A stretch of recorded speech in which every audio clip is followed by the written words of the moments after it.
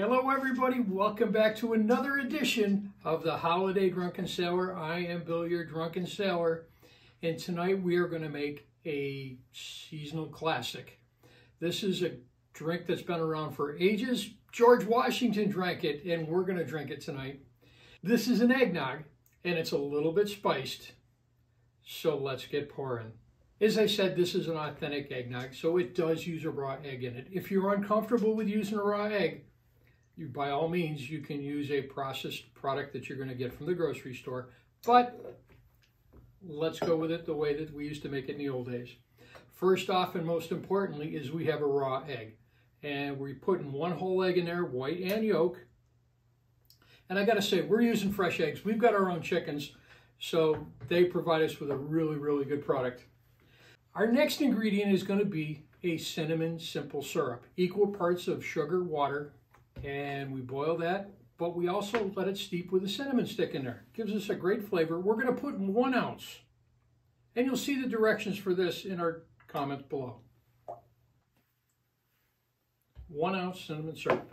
The next thing that's going in there is going to be our cream. You can use milk, you can use half and half, you can use cream, but I want that full-bodied texture and flavor, and we're going to put two ounces in there.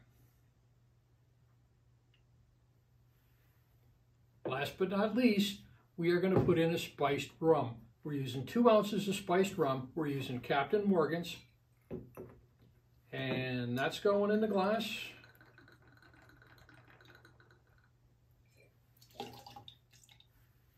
And next step is, is going to be a dry shake. What we want to do is break down that whole egg. We want to emulsify it. We want to put some air in there. We want to put some texture in there.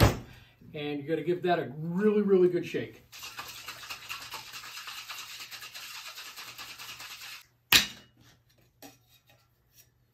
Make sure you hold on to it really well. It's going to tend to expand and it's going to want to pop on you. It can make a mess. We don't want to do that.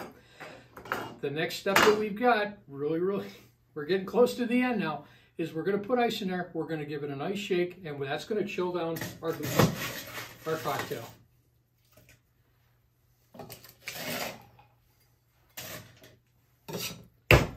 Once again, pop the top on it. We're going to give it another good shake and chill it down. Now for the fun part. We're going to pour. Everybody has to have one of these eggnog glasses.